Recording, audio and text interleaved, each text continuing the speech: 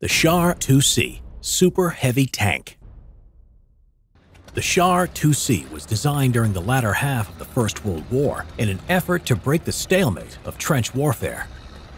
French General Mourret, Sub-Secretary of Artillery, granted the FCM shipyard a contract to develop a heavy tank, or Char d'assaut de modèle, meaning Great Model Assault Tank.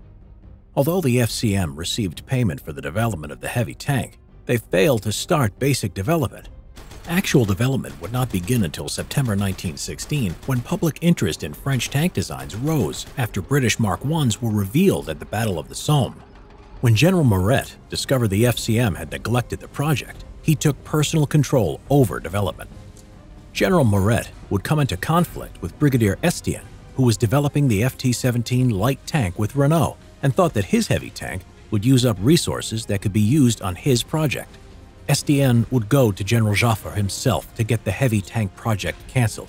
After the first action of a new light tank, the Schneider CA, was a disaster, Albert Thomas, Minister of Armament, cancelled all tank projects. This caused Estienne and Mourret to work together, eventually getting Thomas to retract his decision. On November 17th, the first prototype of the FCM-1A was ready. General Petain would order 300 FCM-1As. However, in 1919, with the war over, the order was cancelled and later replaced with an order for 10 Char FCM-2Cs. 30, 40, and 62-ton weight class variants were intended for the Char 2C. However, the end of the armistice prevented the production of these models. In post-war France, the 62-ton weight version was produced in 1921, with 10 examples in service. The Char 2C was 10.3 meters long, 3 meters wide, and 4.1 meters tall, or 33.7 feet long, 9.8 feet wide, and 13.4 feet tall.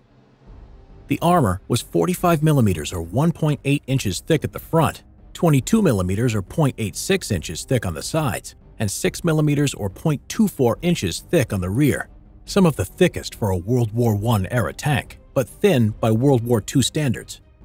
It was powered with two Maybach diesel engines, the same type that had been used on German Zeppelins during World War I, which gave it a maximum speed of 15 kilometers or 9.3 miles per hour.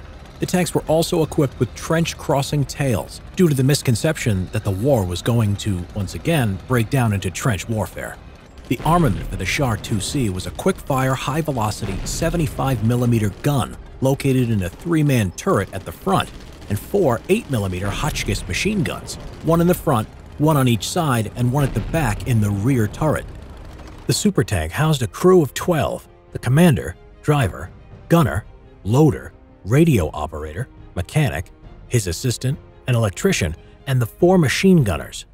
Although obsolete by 1935 due to their low speed and high profile, all 10 Char 2Cs were reactivated and put into service as the 51st Battalion Char de Combat in 1939 to serve as a propaganda device in movies, encouraging many people to look at them as invincible super tanks and helping boost morale in the early stages of World War II.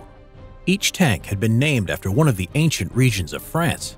Numbers 90 through 99 named Poitou, Provence, Picardie, Alsace, Bretagne, Touraine, Anjou, Normandy, Berry, and Champagne. Instead of using them to defend against the German offensive in 1940, the French command ordered them to be shipped to the south of France by rail. However, some of the tanks had broken down and were put out of service. The others that were shipped to southern France by rail were destroyed, instead of allowing the Germans to capture them when a burning fuel train blocked the railway. Number 99, nicknamed Champagne, failed to detonate and the Germans captured it, taking it back to Berlin as a war trophy. It disappeared in 1945 after the fall of Berlin to the Soviets, and it is suspected that it was scrapped.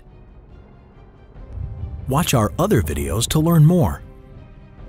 Get your copy of Simple History World War I available on Amazon now. Thank you for all your support on the Simple History YouTube channel. If you enjoy the channel, please consider supporting us at Patreon.